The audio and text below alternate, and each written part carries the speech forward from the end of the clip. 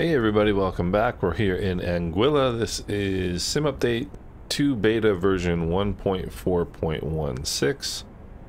I just posted a video showing the kind of laggy and jittery effects that we were getting, or that I was getting in this particular build from yesterday. I had a bunch of CTDs, was not having any luck with it at all, just loaded in about 10 minutes ago, 15 minutes ago, and had another freeze. It just, it, I got to this point and it just completely froze. I think I may have figured out what it is. I guess we'll see as time goes on here. First thing to notice, and I mentioned this in the other video, look at the main thread. So I'm, I'm running what I generally run settings wise. My OLOD is a little bit higher than it normally is.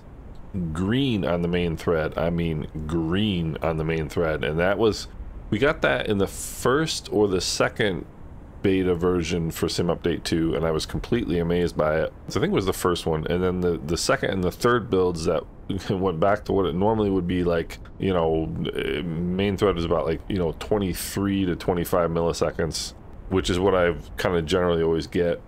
And now with this build, it's back down to uh, 14, 15 being back in the green. It's fantastic. Uh, I have my Frame rate's limited to 30 in the CFG file, and I'm using FrameGen. I'll show you real quick here what uh, settings that I am running. DLSS Super Resolution and Quality, AMD FSR 3, and I think that was the issue. So we'll talk about that as we go through the video, but uh, I basically set everything to, I, ba I basically set the overall, the global rendering to ultra and then I kind of change it to match what I like. I, I turn plants, rocks, and trees down to high just because I'd rather get a little bit more performance. I don't really need, you know, rocks to be very clear. Uh, volumetric clouds are very important to me, as are textures. Uh, water waves does not go higher than high, and that's very important to me. I also turn off light shafts. I think they, they're kind of, they, you know, you don't see light shafts in real life, so I turn those off. And motion blur is off. I have traffic airport quality and air traffic off because I'm running live traffic right now. And fauna is off. Fauna is the big FPS killer in both 2D and VR. So let's go back in here and we'll see what we get.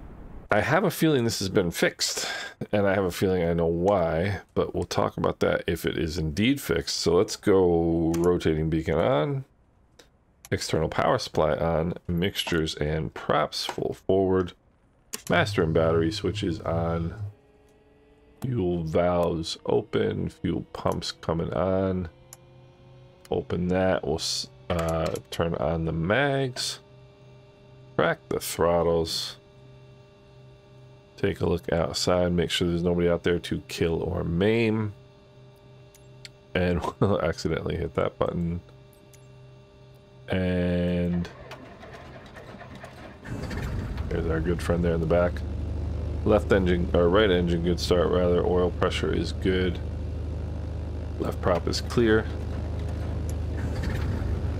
Good start. Oil pressure is good.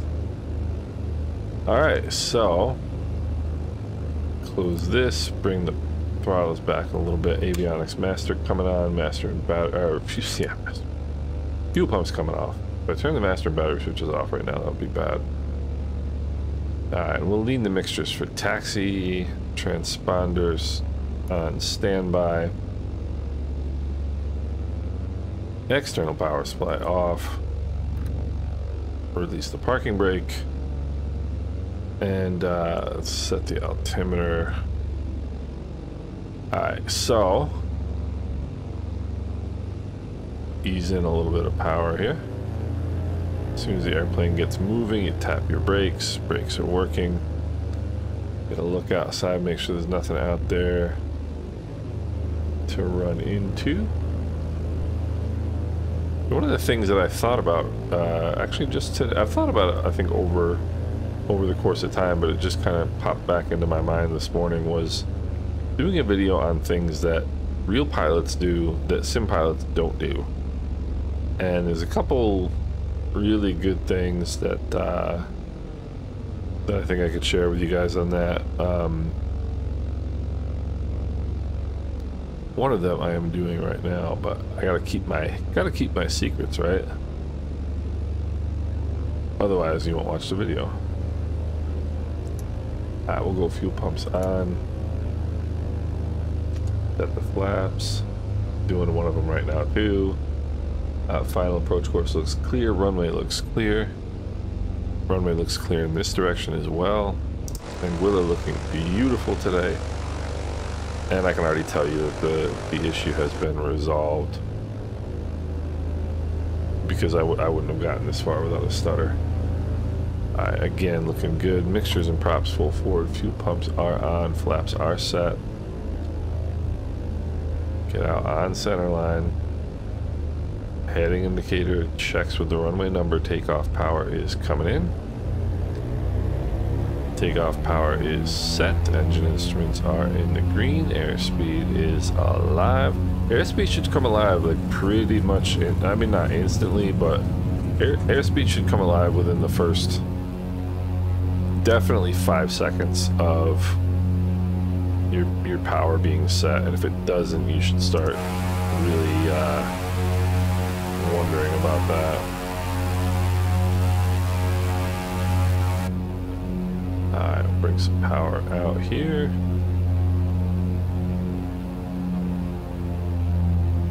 Props back, 400 feet AGL, start my turnout. The reason why I do 400 feet AGL in before I start, I never, I never make a turn before 400 feet above the ground. No matter what I'm flying, no matter where I'm flying. The reason is, is because Um, that's the that's the the obstacle clearance rule for v, for IFR flight. If if you take if you take off on an IFR departure and you don't make any turns before, below 400 feet, are ostensibly anyway guaranteed not to hit anything. And the reason that hitch, so that was a hitch right there, but I can explain that one for you in a second. So power is coming back, props are coming back. Now let's get the get the nose down here a little bit. So I'll tell you what.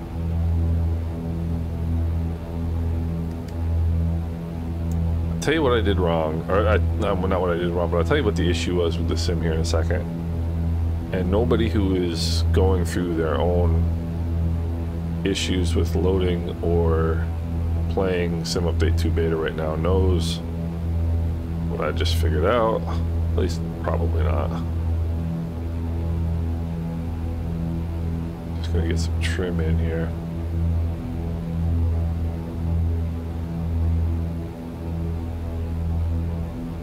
Ah, there we go. Alright, uh, rudder trim is good.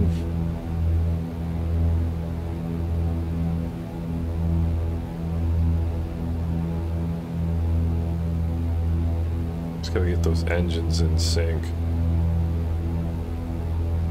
Alright, so with, uh, I'm running AMD frame gen. And, uh, the issue was, or is, that now in addition to resetting our DLSS file every time they update the sim, they also reset the AMD FSR3 file. And so I just updated the sim, obviously yesterday, and both of those files got reset. And I, I, I'm still, after all this time, I still sometimes forget to to check the the DLSS file.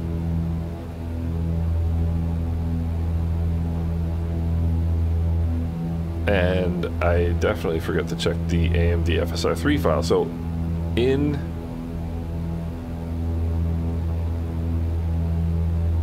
in uh, DLSS Swapper, you can now update the AMD FSR3 file as well. Look how good that water looks. My gosh.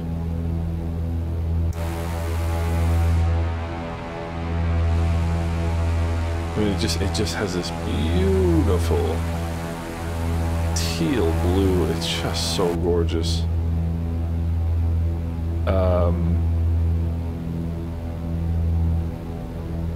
And anyway, so after the last video I uploaded saying that the sim wasn't working, which it wasn't, I up, up, updated the FSR3 file, now it's working fine.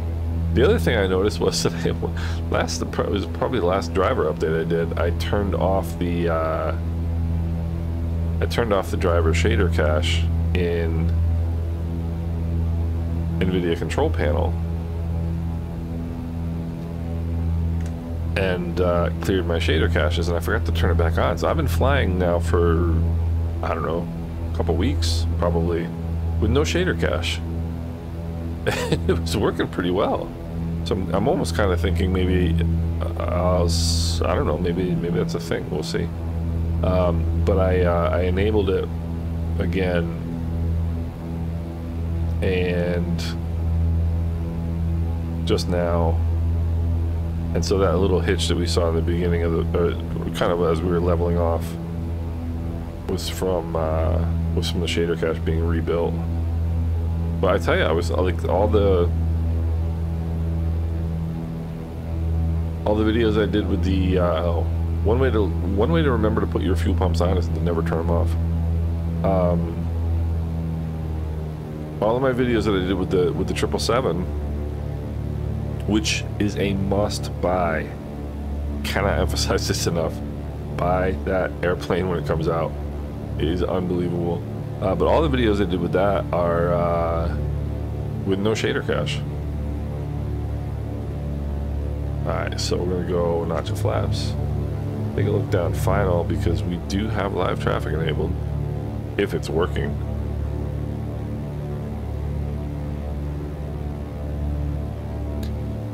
And we'll uh yeah, so updating the FSR3 file, we're all set.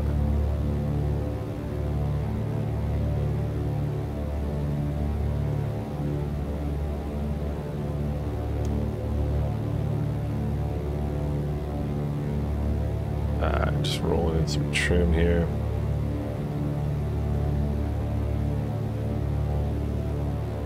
So look at this green thread. Uh, your main thread is green.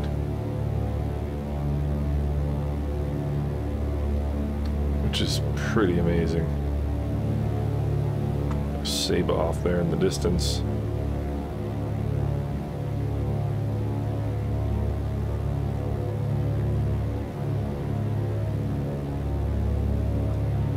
And we'll just nose our way in here. Alright, a few pumps on. Flaps are now set. Mixtures and props full forward. And we are set.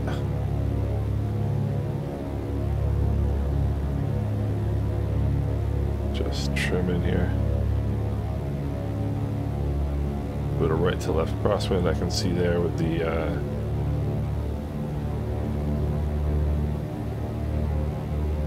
a windsock.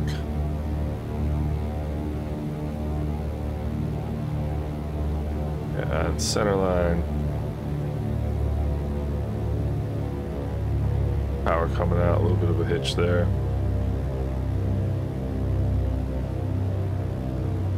Power's all the way out. Hold it, hold it, hold it. A little left rudder, a little right aileron. Not enough of either. but, yeah, whatever. Full right aileron correction for the crosswind. Once you touch down, you put it in full full aileron correction. And clearly, uh, live traffic's not working, or did, no, I definitely turned it on. I definitely turned it on. And once you roll out of that wind, you can let the uh, crosswind correction go. I've got the I've got the uh, mixtures lean for taxi.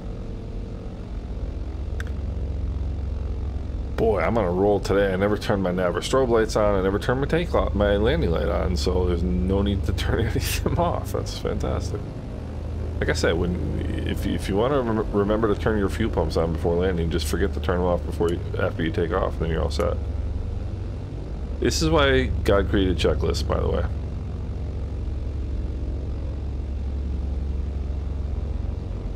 Mean, one of the, one of my favorite things in aviation is the things that we do on every single flight. We have checklists for the things that we hope we never have to do in our lives, like uh, engine fire checklist, uh, you know, power loss of power checklist, loss, loss of electric checklist, things like that.